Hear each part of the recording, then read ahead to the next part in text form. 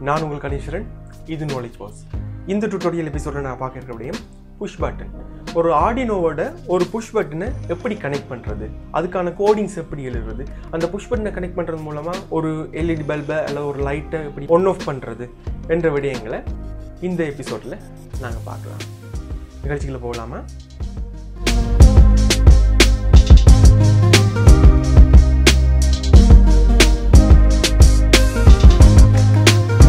இன்றைக்கி நாங்கள் பார்க்க போகிறது ஒரு ஆர்டினோ போர்ட்டில் ஒரு புஷ் பட்டனை கனெக்ட் பண்ணி அதில் ஒரு எல்இடி பல்பை எப்படி நாங்கள் ஒன் பண்ணுறது ஆஃப் பண்ணுறது என்ற விடயங்களை நாங்கள் இன்றைக்கு பார்க்க போகிறோம் அதாவது டிஜிட்டல் பின்ஸில் பார்த்தீங்கன்னு சொல்லி சொன்னால் ஒன்றிலிருந்து பதிமூன்று வரைக்குமான டிஜிட்டல் பின்ஸ் இருக்குது இதில் நாங்கள் எந்த பின்ல இருந்தாலும் இன்புட் அவுட்புட் கனெக்ட் பண்ணலாம். ஏன்றால் இந்த இதில் உள்ள ஆடினோ போர்டில் உள்ள டிஜிட்டல் பின்ஸ் வந்து இன்புட்டாகவும் தொழிற்படும் அவுட்புட்டாகவும் தொழிற்படக்கூடிய தன்மை வாய்ந்தது. நாங்கள் எக்ஸாம்பிளுக்கு நாங்கள் இதில் உள்ள ஆடினோ போர்ட்லேயே ஃபிக்ஸ் பண்ணியிருக்கிறோம் எங்கள் டெஸ்டிங்காக ஃபிக்ஸ் பண்ணியிருக்கிறேன் அதாவது பதிமூன்றாம் நம்பரில் ஃபிக்ஸ் பண்ணியிருக்கிற எல்இடி பல்பை தான் நாங்கள் இதில் வந்து டெஸ்டிங்காக பயன்படுத்த போகிறோம் அதாவது அவுட்புட்டாக யூஸ் பண்ண போகிறோம் இன்புட்டாக யூஸ் பண்ண போகிறோம் நாங்கள் எங்களுடைய சுவிட்சஸை புஷ் பட்டுன்னு நாங்கள் ரெண்டாவது பின்னில் வந்து டிஜிட்டல் பின் ரெண்டாவது பின்னில் வந்து நாங்கள் கனெக்ட் பண்ணி பதிமூன்றாவது பின்னில் உள்ள எல்இடி பல்பை ஆன் பண்ணி ஆஃப் பண்ணுறதுக்கான கோடிங்கை தான் நாங்கள் இப்போ எழுதுறது அப்படின்ட்டு பார்க்க போகிறோம் ஆடினோ ஸ்கெட்ச் ஆடினோ ஐடியை ஓப்பன் பண்ணியிருக்கோம். அதில் பார்த்தீங்கன்னு சொல்லி சொன்னால் செட்டப் இருக்குது லூப் இருக்குது இப்போ நாங்கள் செட்டப்பில் இந்த கமெண்ட்டை நாங்கள் டிலீட் பண்ணுறோம் லூப்லையும் கமெண்ட் எங்களுக்கு தேவையில்லை ஸோ டிலீட் பண்ணுறோம் செட்டப்பில் நாங்கள் செய்ய வேண்டிய விடயம் இதில் இன்புட்டாக இப்போ ரெண்டுமே டிஜிட்டல் பின்ஸ்ன்றதால இன்புட் எந்த பின் அவுட்புட் எந்த பின் என்ற விடயங்களை நாங்கள் இதில் முதல் தெரிவிக்கணும். அது என்ன மாதிரி தெரிவிப்போம்னு சொல்லி சொன்னால் பின் மோட் பின் மோட் ப்ராக்கெட்டுக்குள்ள நாங்கள் எந்த பின் இப்போ நாங்கள் அவுட்புட்னா எந்த பின்னை யூஸ் பண்ண போகிறோம் பைமுண்டா பின்னு அவுட்புட்டை யூஸ் பண்ண போகிறோம்னு சொல்லி சொன்னால் அவுட்புட்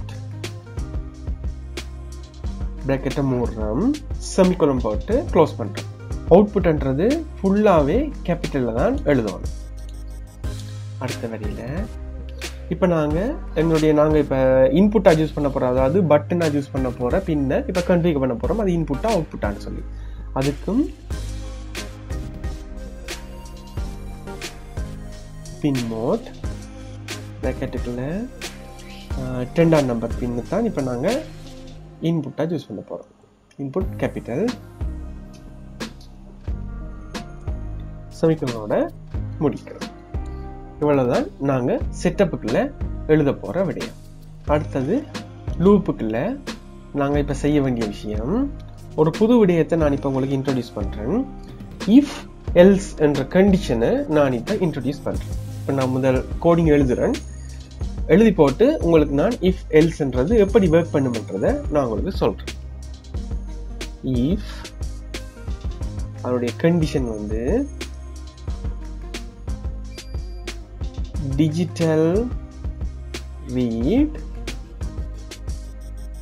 ப்ராக்கெட்டில் அதாவது ரெண்டாம் நம்பர் பின்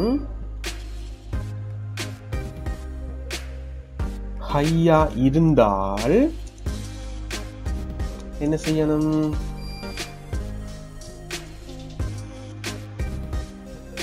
டிஜிட்டல்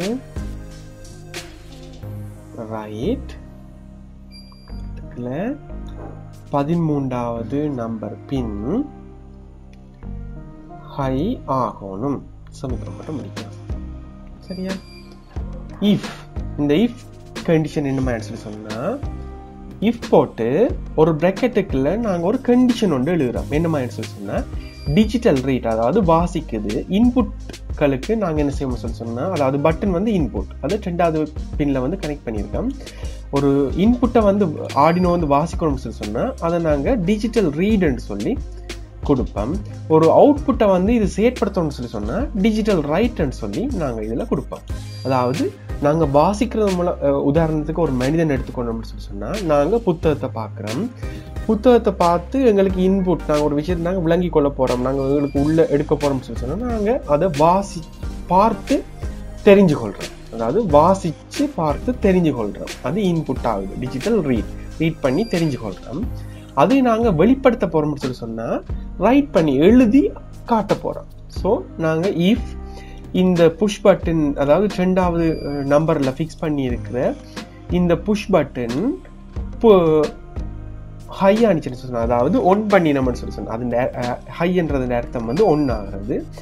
ஹை ஆனிச்சுன்னு சொல்லி சொன்னால் என்ன நடக்கணும்? பதிமூன்றாம் நம்பரில் ஃபிக்ஸ் பண்ணியிருக்கிற அந்த எல்இடி பல்ப் வந்து ஹை அதாவது ஒன் பண்ணி காட்டணும். அடுத்தது இன்னொரு விஷயம் நாங்கள் குறிப்பிடுறோம். எல்ஸ் எல்ஸ்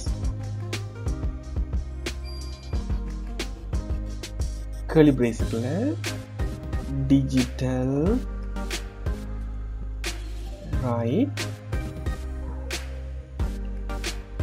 பதிமூன்று. லோ. இதில் என்ன விஷயம் சொல்ல சொன்னால் அதாவது இந்த பதிமூன்றாவது நம்பர் நம்பரில் உள்ள எல்இடி வந்து லோ ஆகணும் அதாவது ஒஃப் ஆகணும் என்று குறிப்பிட்டிருக்கோம்.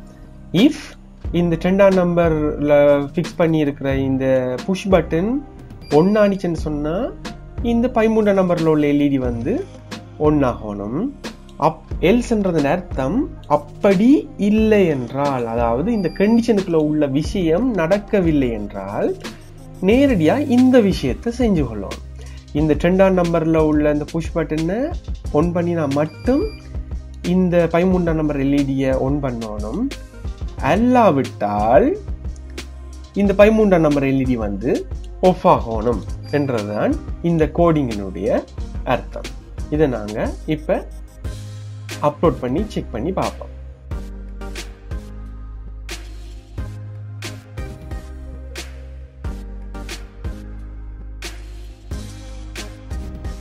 ஒரு ஆடினோ போட்டில் நாங்கள் எப்படி ஒரு புஷ் பட்டனை கனெக்ட் பண்ணுறன்றதை விளங்கிக் கொள்ளலாம். ஒரு டென் கே ரெசிஸ்டரை அதாவது பத்து கிலோ ஓம் ரெசிஸ்டரை வந்து இப்போ நாங்கள் எந்த பின்னை நாங்கள் புஷ் பட்டனு பட்டன் ஃபிக்ஸ் பண்ணுறதுக்கு யூஸ் பண்ணுறோமோ அந்த பின்னுக்கும் கிரவுண்ட் அதாவது ஜிஎன்டிக்கும் இடையில கனெக்ட் பண்ணணும்.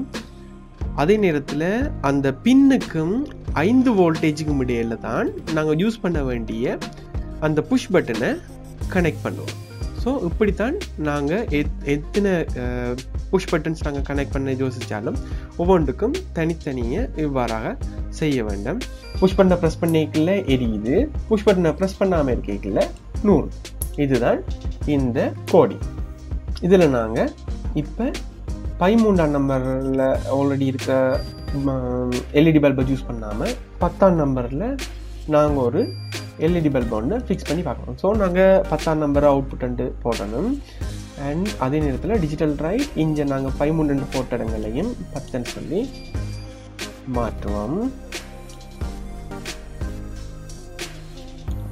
இப்போ நான் பிரெட் போர்டில் பத்தாம் நம்பரில் ஆடினோவோட கனெக்ட் பண்ணி பத்தாம் நம்பரில் ஒரு எல்இடி பல்பை ஃபிக்ஸ் பண்ணுறேன் இப்போ அப்லோட் பண்ணி பார்க்குறேன்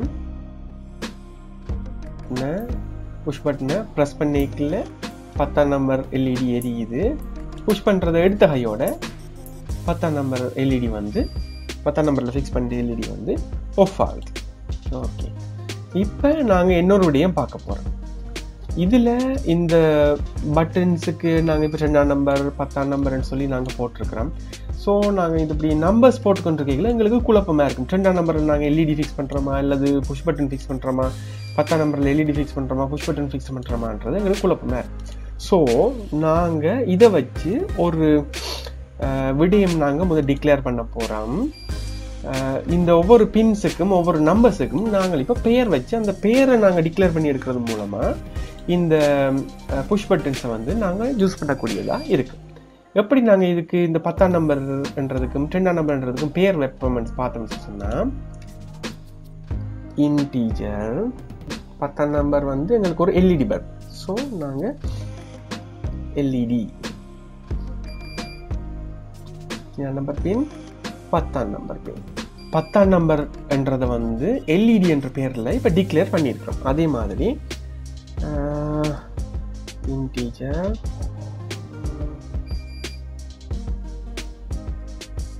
பட்டன் புஷ் பட்டன் டென்ட் ஸோ டென்டா பட்டன் சொல்லி சொன்னால் டெண்டாம் நம்பர்ன்றதையும் இப்போ பேர் மாற்றம். அதே மாதிரி எல்இடின்னு சொல்லி சொன்னோம்னா பத்தாம் நம்பர்ன்றது பேர் மாற்றம்.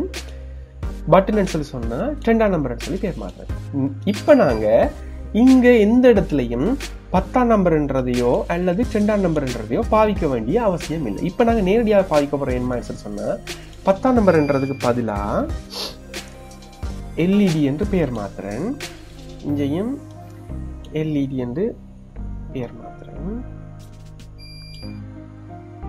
பேர் மாற்றுறேன் அதே இங்கே நான் பட்டுன்ற ரெண்டாம் நம்பர்ன்றத பட்டுன்றதா பேர் மாற்றிட்டேன் ஸோ இங்கே ரெண்டாம் நம்பர்ன்றதுக்கு பதிலாக நாங்கள் இப்போ பட்டன் யூஸ் பண்ணலாம்.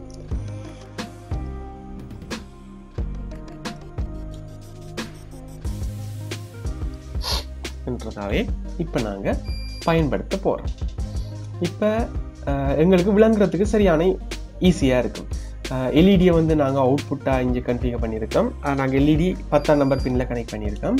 பட்டனை வந்து டென்னாம் நம்பர் பின்னில் கனெக்ட் பண்ணியிருக்கோம். ஸோ நான் இங்கே நம்பர்கள் குறிப்பிடாமல் எல்இடியாக பட்டனான்றதை நாங்கள் இங்கே குறிப்பிட்டு பார்த்து எல்இடியை அவுட்புட்டாக ஜூஸ் கனெக்ட் பண்ணியிருக்கோம். பட்டனை வந்து புஷ் பட்டனை வந்து இன்புட்டாக வந்து கன்ஃபிகர் பண்ணியிருக்கோம். ஸோ இப்போ நாங்கள் இஃப் எல்ஸ் கண்டிஷன்ஸில் இஃப் நாங்கள் ஒரு இந்த புஷ் பட்டனை வந்து ஆன் பண்ணினோம்னு சொல்லி சொன்னால் எல்இடி வந்து எரியும். அப்படி நாங்கள் ஒன் பண்ணவில்லைன்னு சொல்லி சொன்னால் அந்த புஷ் பட்டனை ஒன் பண்ணலைன்னு சொல்லி சொன்னால் இந்த எல்இடி வந்து ஆஃப் ஆகும் இப்போ நாங்கள் இதை அப்லோட் பண்ணி பார்ப்போம். ஸோ இப்போ நான் பட்டனை ப்ரெஸ் பண்ணுறேன் எல்இடி எரியுது. பட்டனை விட்டுட்டேன் எல்இடி நோட்டுட்டு ஓகே இதுதான் புஷ் பட்டனை வச்சு நாங்கள் எழுதின கோடிங் அப்போ எந்த சந்தர்ப்பத்திலையும் நாங்கள் புஷ் பண்ண யூஸ் பண்ணிக்கல எப்படியான முடியும் தான் யூஸ் பண்ணுவோம்.